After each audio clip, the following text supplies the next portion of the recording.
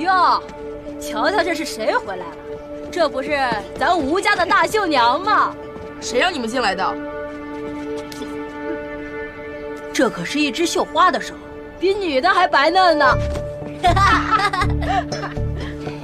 还剪？没想到啊，三哥，原来你还有这种癖好。早知道，二伯别送你去书院了，送的是绣房吧？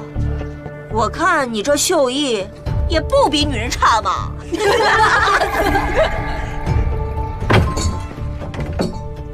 楚君，这是那个逆子绣的。别哎，楚君，别！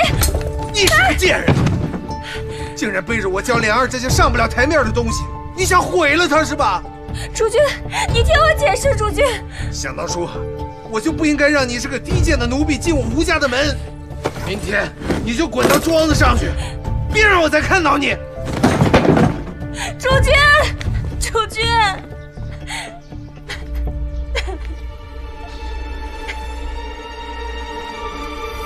堂堂一个七尺男儿，竟然天天关起门来绣这些女人家的东西，我怎么生了你这么一个玩意儿？楚君，烧了啊！全都给我烧了！拿过来烧，拿过来让他看着。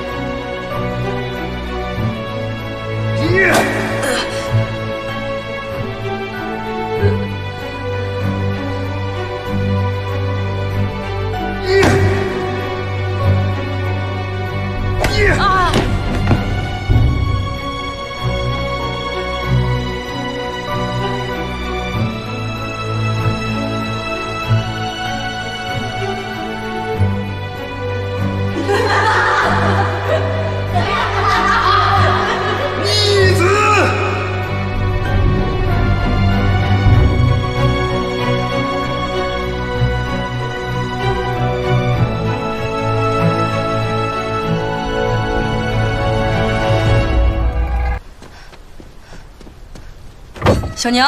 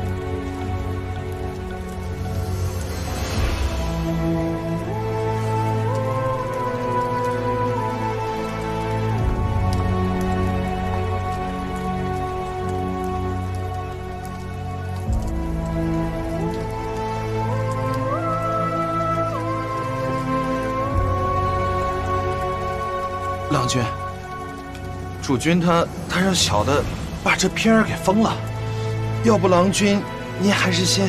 谁让你进来的？小小的这就走。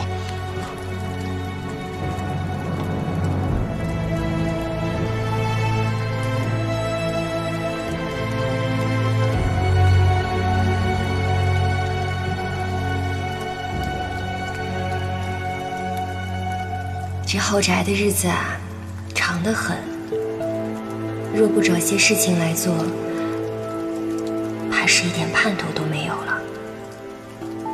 这梅花绣的真好看。我绣梅花啊，是最拿手的。那往后梅花也是我最喜欢的。这是我花半个月绣出来的，如何？我还从未见过如此逼真的落梅呢。我喜欢刺绣，小娘，你能教我吗？这不是你该学的。你与小娘不同，你该用功读书，日后才会有出息。可是我爹读了一辈子书，又如何？方才我坐在这儿一针一线的绣着，心里感觉莫名的宁静。我好像明白，小娘你为何如此喜欢刺绣了。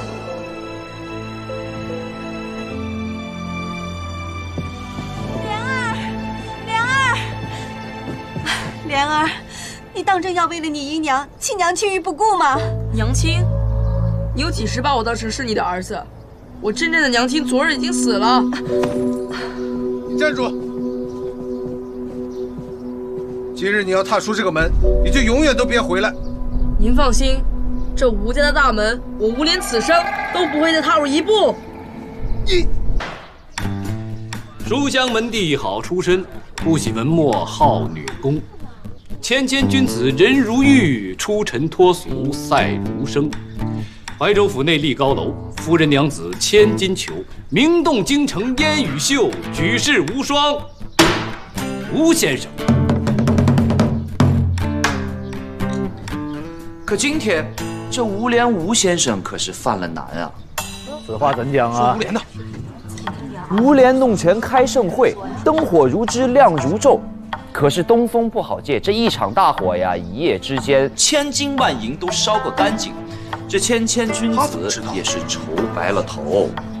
这恐怕就是你不知所以然了。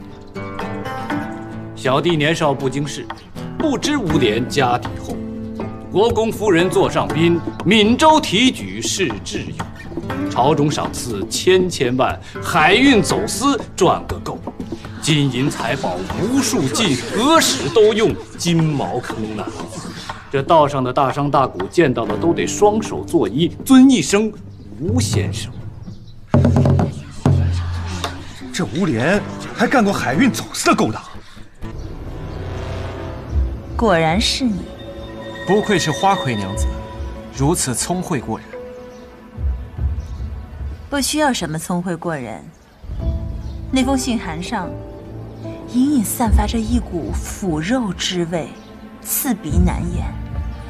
想来整个怀州府，如此臭不可闻之人，也只有吴先生您了。